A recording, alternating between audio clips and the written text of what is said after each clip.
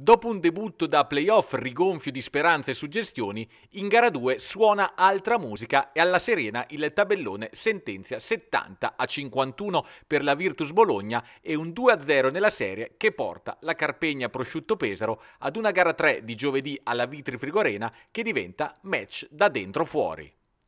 Pesaro tiene nel primo quarto, ma poi la forza della prima della classe va tracimando fino ad un inizio ripresa di difficile contenimento e fino ad un'ultima frazione di divario incolmabile. Le troppe palle perse era successo in gara 1, è un dettaglio che ovviamente è legato anche all'aggressività e alla fisicità dei nostri avversari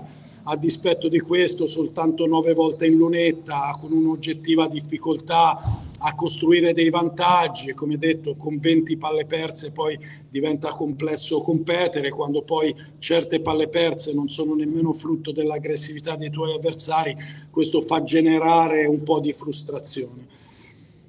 la partita credo che abbia preso purtroppo a inizio terzo periodo una direzione che poi è difficile invertire quando eh, come detto è mancata l'energia, la forza e anche la lucidità. Palle perse e nervosismo, come quello di Tyreek Jones che al ventottesimo è costretto ad abbandonare la partita per un fallo tecnico.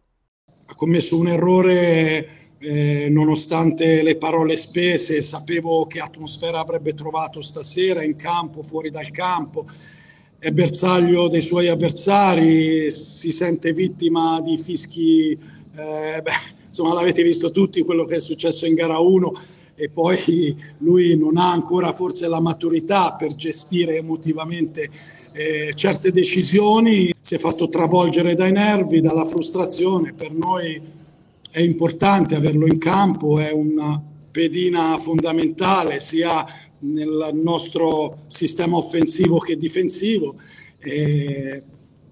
spero che faccia tesoro di quanto accaduto. Abbiamo un'opportunità unica, nessuno immaginava che potessimo sedere a questo tavolo. No? Siamo qua, dobbiamo goderci ogni istante, dobbiamo dimostrare a noi stessi, prima di tutto, che apparteniamo a questo livello Abbiamo giocato una prima partita convincente, stasera come detto sono mancate le forze ma anche la lucidità e quindi è un imperativo già per la prossima dove dobbiamo riordinare le idee, giocare come una squadra, sapere che riuscire a farlo contro un avversario così forte, così blasonato, così profondo ti spinge veramente a,